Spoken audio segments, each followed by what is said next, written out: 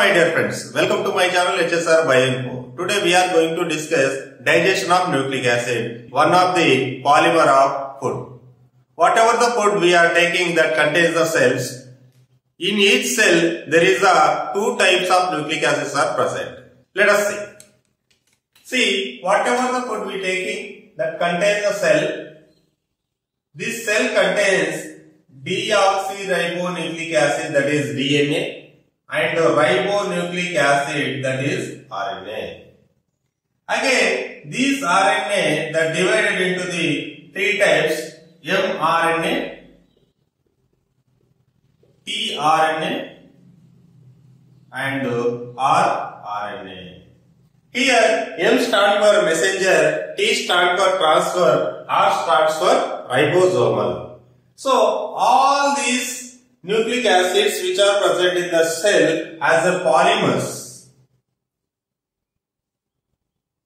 as a polymers. These polymer must be digested in the alimentary canal of the human digestive system. So, first of all, before going to digestion, we have to see how these polymers are made up of. Let us see, DNA actually double stranded in the human beings.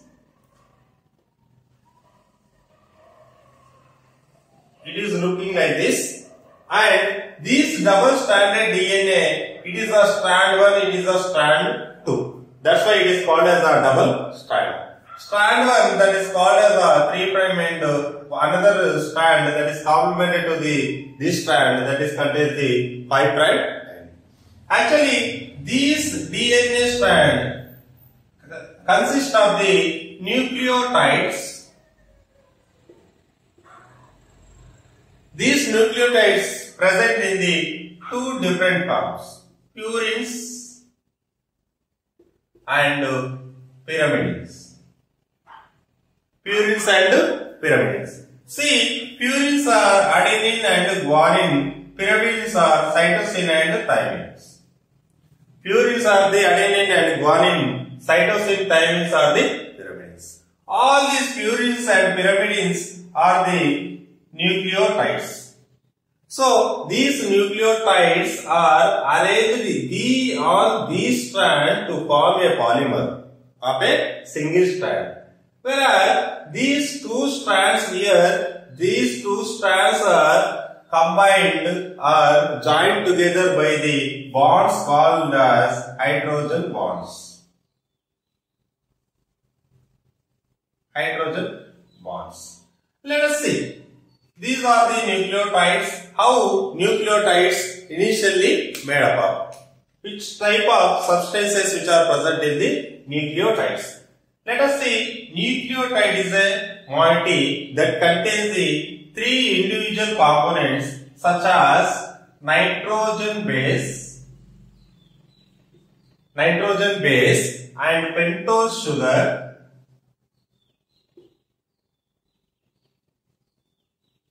plus inorganic phosphate. What it contains nitrogen base, pentose sugar and inorganic phosphate both together forms the nucleotides. See nitrogen base, pentose sugar, inorganic phosphate. Here pentose sugar and inorganic phosphate both that are present as a backbone of the DNA strand. This is the backbone and also this one also backbone. These DNA strands that contains the backbone and, uh, and also contains the one nitrogen base. So here pentose sugar and inorganic phosphate that consist here as a backbone. That consist here as a backbone. For example, This is called as a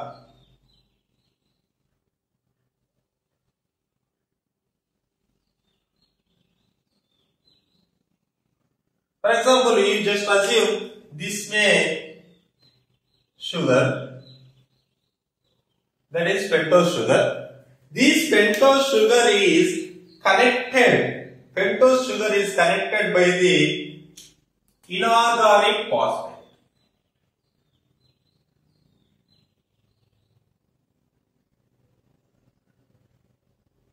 These pentose sugars are the connected by the inorganic phosphate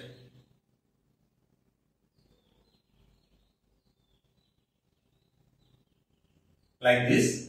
These inorganic phosphate and pentose sugar are connected by the one bond that is called as phosphodiester bond. Phosphodiester. These phosphodiester bond forms the backbone of the DNA. Here we have to remember there is a one more nitrogen base of the nucleotide which is present inside of the which is present inside of the both strands like this.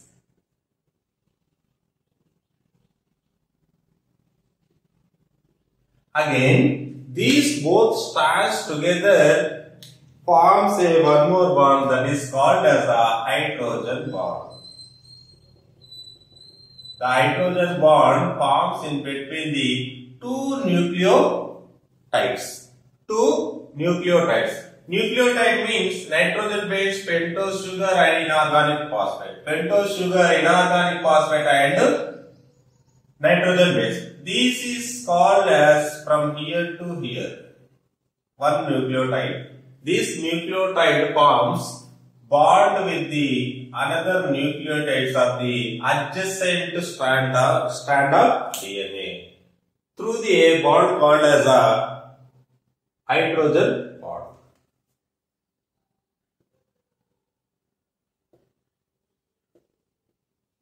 Hydrogen bond.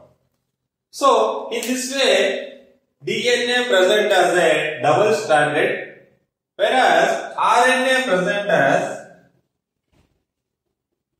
single strand. RNA present as single strand along with the these nitrogen bases, pentose sugar, inorganic phosphate. What we have to remember here, here is a one important point. Adenine, guanine, purines, pyrimidines are the cytosine thymines.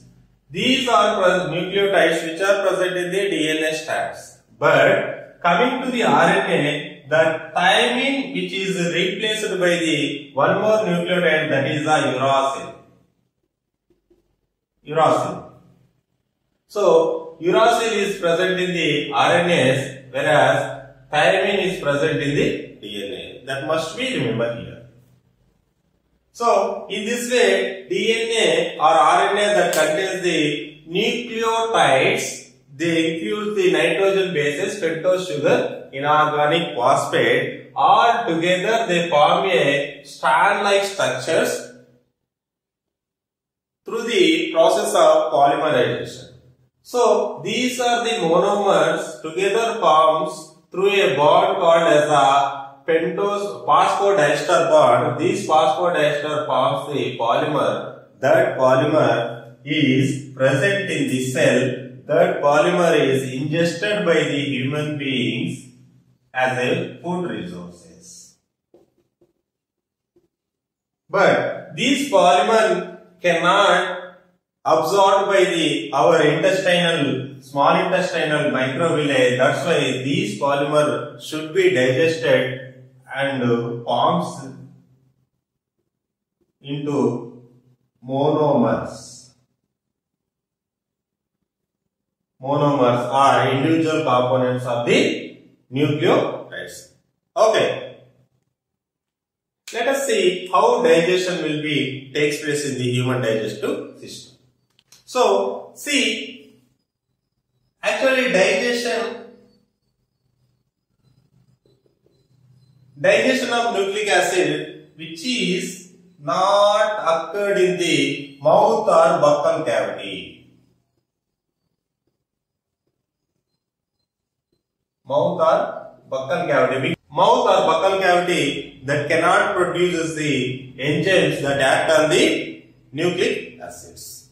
So, next to the mouth, next to the mouth, there is a esophagus, esophagus that opens into the stomach.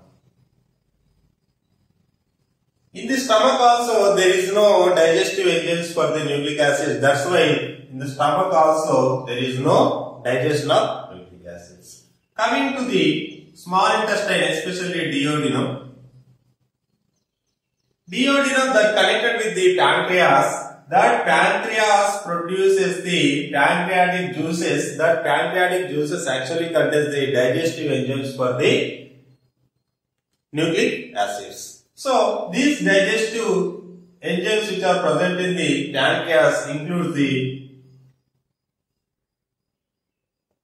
nucleases. These nucleases are again divided into two types deoxyribonucleases.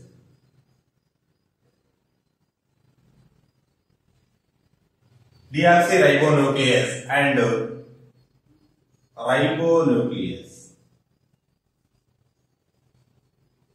Deoxyribonuclease and ribonuclease is simply called as DNase it is called as RNase DNase and RNase so these are the enzymes which are present in the pancreatic juice. That pancreatic juice mixed with the food item, that food item contain the DNA and RNA. This DNA RNA get digested by the DNAs and RNAs.